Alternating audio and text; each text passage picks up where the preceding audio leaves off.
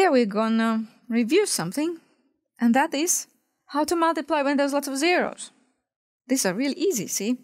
There's a shortcut. You remember that? Go 2 times 8 equals 16. And then gather your zeros. 1, 2, 3. Like that. How about 60 times 50 times 30? The same principle applies. Just go 6 times 5 times 3. Okay, 6 times 5 is 30. And 30 times 3 is 90. And then we have a 0 and a 0 and a 0. So 90,000. How about 2,000 times 340? It's easy. 2 times 34. 68.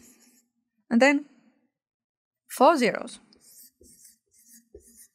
So we get 680,000. Here's a little bit of a challenge. You need to find the missing factor. What number times 40 is this big number, 320,000? You need to think backwards. Think first, what number times 4 equals 32? That's clear, that's 8. Okay, and now we'll think about the zeros.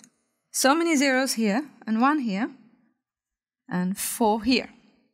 So, definitely we need to put 3 here. 3, and one more, 4 there. Surely you can solve this one.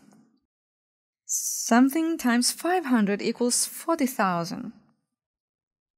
At first, think of the 40 and the 5. They are in your multiplication tables. What number times 5 equals 40? It is 8. 8 times 5. And now the zeros. 3 here, 2 here, so just 1 here. That's right.